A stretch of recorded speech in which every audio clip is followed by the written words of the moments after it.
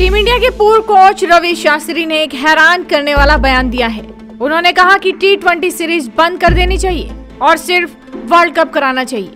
रवि शास्त्री की टिप्पणी भारत की दक्षिण अफ्रीका के खिलाफ पाँच मैचों की टी सीरीज़ से पहले आई है। भारत के सबसे सफल कोचों में से एक शास्त्री को ये भी लगता है कि खेल प्रेमियों के उत्साह को देखते हुए जहाँ तक छोटे प्रारूप की बात है तो सबसे अच्छा तरीका फ्रेंचाइजी क्रिकेट के साथ दो साल में टी वर्ल्ड कप होगा। शास्त्री ने कहा टी में काफ़ी द्विपक्षीय क्रिकेट हो रहा है। मैंने ये पहले भी कहा है, यहाँ तक कि जब मैं भारतीय टीम का कोच था, तब भी। ये मेरे सामने हो रहा था।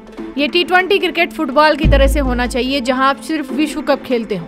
द्विपक्षीय टूर्नामेंट को कोई याद नहीं रखता। उन्होंने आगे कहा कि उन्हें भारतीय कोच के तौर पर पिछले छह सात साल के कार्यकाल के दौरान विश्व कप को छोड़कर एक भी टी मैच याद नहीं।